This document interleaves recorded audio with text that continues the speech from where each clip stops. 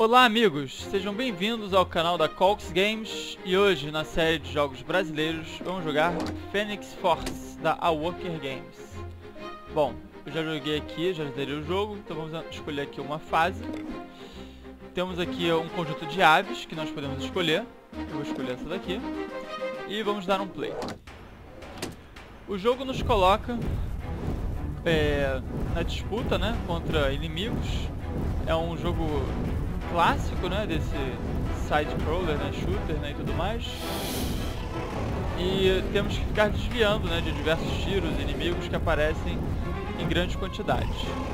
Bom, nós fizemos uma entrevista já com o pessoal do Phoenix Force aqui no canal da Cox Games e nós descobrimos algumas coisas interessantes, né? Entre eles é que o jogo ele foi originalmente lançado para Windows Phone e teve mais de 500 mil downloads mostra como o mercado Windows Phone é carente né, ainda de jogos, que talvez seja uma oportunidade interessante para os desenvolvedores, né, desenvolvedores brasileiros e afins.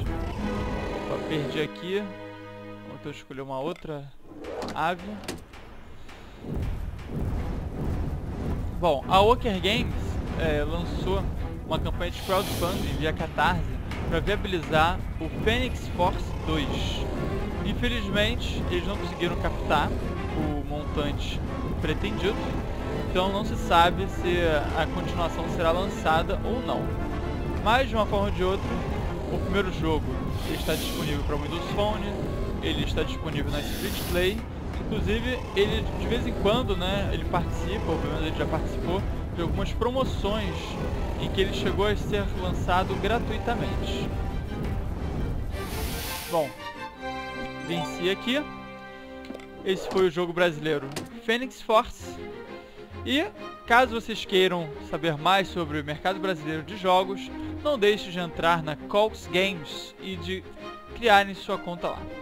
Isso aí pessoal, hoje jogamos Phoenix Force da Work Games.